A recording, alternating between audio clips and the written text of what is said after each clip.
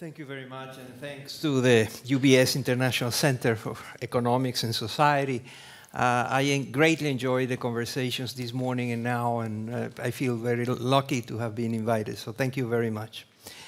Throughout the morning and now, um, there is one important factor that is there, and that is, uh, but I want to make it explicit.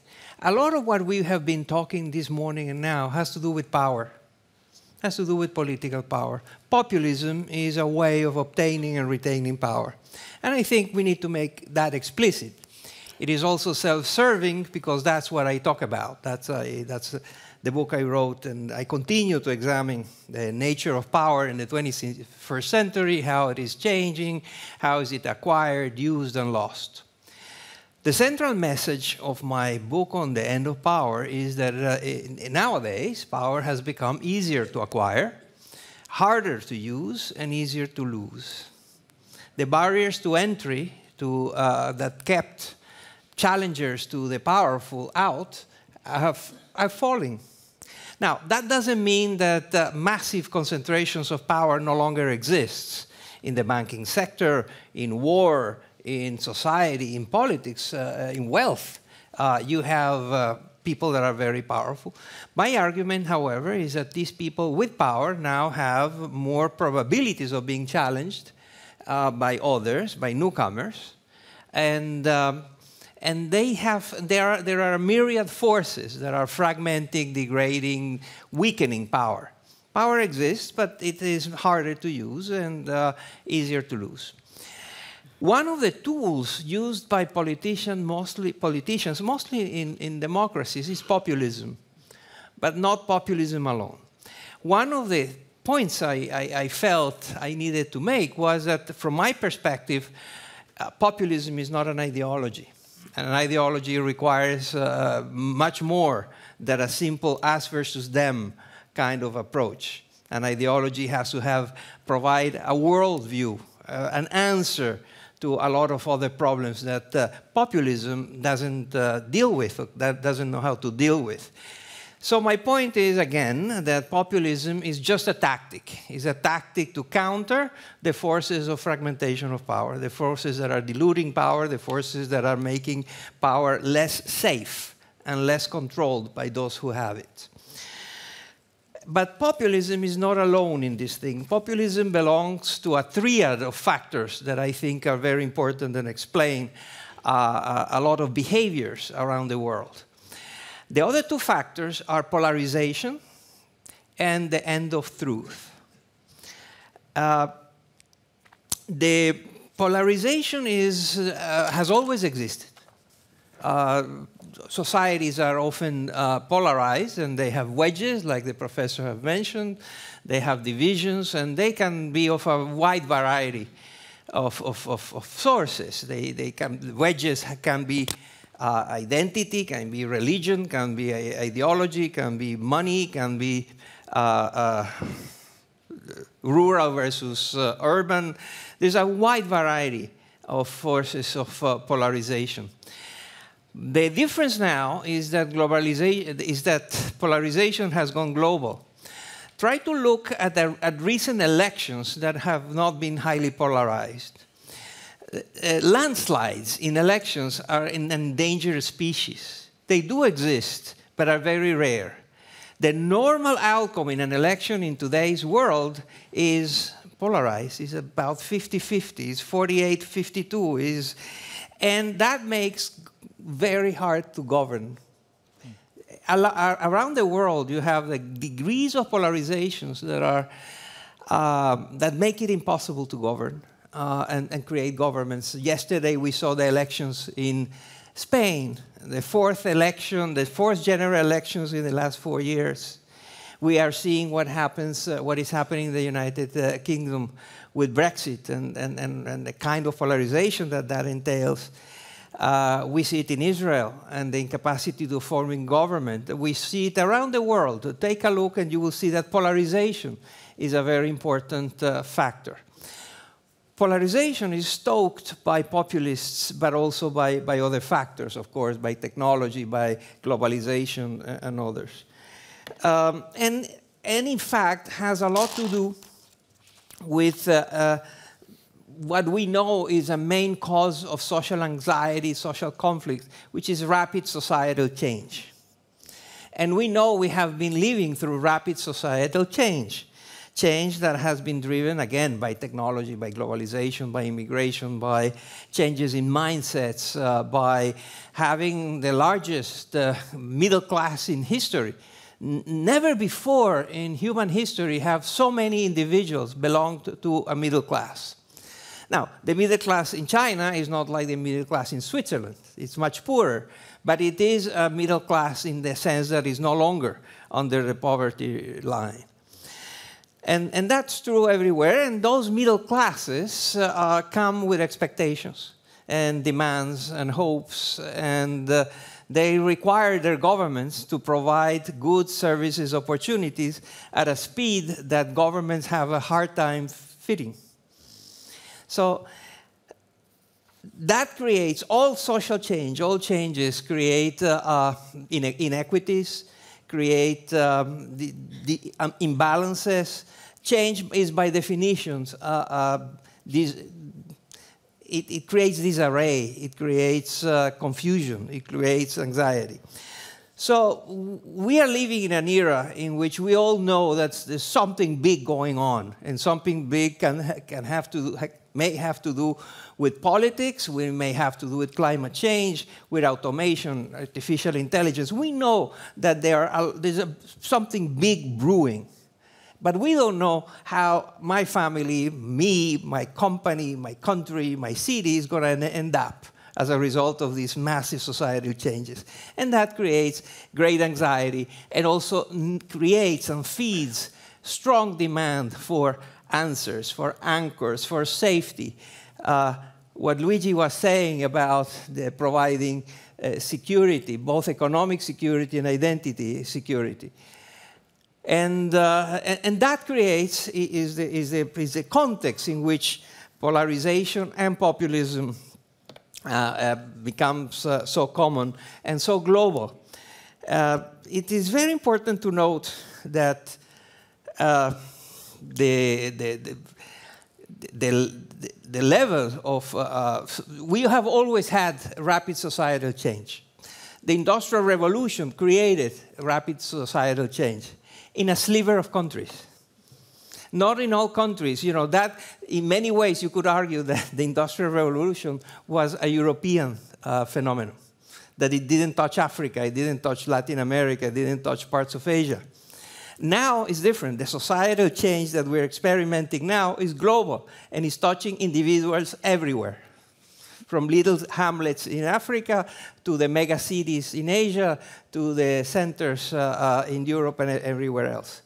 And that creates, again, uh, a, great anxiety and a great uh, need to have safety, to have predictability, to have less uh, uh uncertainty. This creates, the, as I said, the, the, opportunities for politicians that are willing to tell people whatever is needed for, to calm them and to get support. Populism is not uh, more than uh, offering a set of uh, uh, items that need to be checked. And one of the main items is promising you don't care if it will happen or not. The list that we saw about Italy pro promising, you know, the end of poverty, the boom, economic boom, the end of immigration, they're all lies. They're all lies. And he knew that he was lying.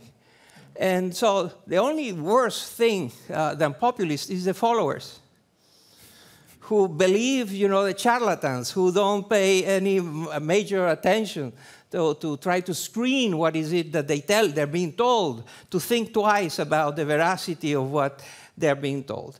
And that brings me to the word of the year of 2016, according to Oxford Dictionary, which is the end of truth. The notion that societies are no longer capable of differentiating what is a fact and what is not, what is real and what is false, what is a lie and what is truth. Um, it, is the, this post truth uh, era, but the, the, the, of the of definition of that is, is a political culture and circumstances in which objective facts uh, become less influential in shaping public opinion and, than those that appeal to emotion and personal beliefs. There is, that creates uh, one of three wars I'm going to talk about. One is the war on facts. Uh, the other is a war on checks and balances, and the third is a war on liberal democracy. But the war on facts creates this societal environment which you, don't know, you no longer know what's truth.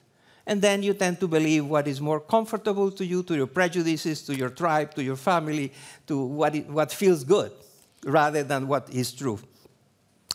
Alan Rusbridger is uh, the former editor of The Guardian. He recently wrote, We are discovering that society can't function if we can't agree on what is a fact and what is a lie. We can't have debates, laws, courts, or governance if there is no agreement about what is it real and what isn't. And around the world, that confusion is permeating all levels of society. And so the, these three factors populism, polarization, and post truth are at the service of power and at the service of trying to retain power and contain the forces that are undermining and fragmenting power. So, if you want to follow the recipe that is now common, you have just to stoke divisions, the them against us that have, has been discussed this morning, the, the, the notion of having a very strong anti something uh, approach and dividing society uh, in that way. That makes uh, uh, the division needs to be fed, and very often that division is fed by lies. Lying is a main instrument of populists all governments lie, no governments lie as much as populists. then, you know, after stoking division, spread lies. And that's, uh, again, uh, the, the, the, that comes with a disdain and a war on experts. Experts and academics and scientists have facts, have numbers, have statistics. And so that's how you see very often uh, how those in power are deriding, insulting, uh, uh, and criticizing experts. Donald Trump is a practitioner of that. In England, we saw Michael Gove. Uh, uh, as you remember, he was a member of parliament. At the time, he was a minister when the, he was offered some, a study by experts, by top econ economists about the economic consequences of Brexit, he said he wouldn't read it because the, the, the British people have had enough of experts. So experts are very uncomfortable for populists because they have data. And it's very hard to lie if you have uh, evidence. But nothing is as bad uh, for populists as journalists. so not only the, the, the post-truth era needs to delegitimize uh, experts, but also, and notably so, it needs to delegitimize uh, journalists. The other factor that is very important for populists is that you need to demonize the past everything that came before is a catastrophe. Everything that came before is corrupt, uh, is uh, unjust, is the reason why nothing works. And uh, so I am here, the populist that will bring you prosperity and, different, and a different way of doing things that will be better for you. And that implies the need to delegitimize rivals part of the polarization is that rivals are political rivals are no longer compatriots that think differently. Rivals are uh, aliens uh, that uh, don't deserve to have a space in the public discourse and in politics. All that uh, uh, creates what I, what I said uh, before. The three wars are the war on facts, the war on checks and balances. And it, that happens very stealthily. And you can see how, in a lot of countries, you have the deliberate undermining of democracy by people that have been democratically elected.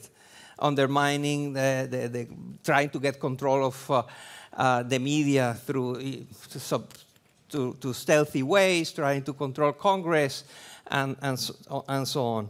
And all that yields uh, a problem for uh, liberal democracy, which uh, has, of course, uh, its, its threats.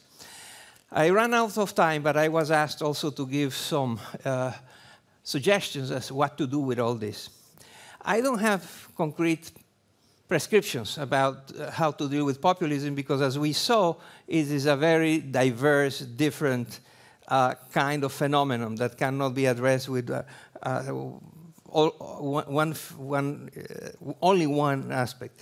But I do have one very strong feeling and that is the need to strengthen political parties, which will come uh, uh, as a surprise to many who have seen how uh, uh, worthy of the region are political parties around the world. What happens since the end of the Cold War is that political parties have become uh, less competitive in attracting uh, idealists and NGOs have been very, very competitive in attracting uh, NGOs. And so around the world, we have seen the decline of the prestige, the attractiveness of political parties.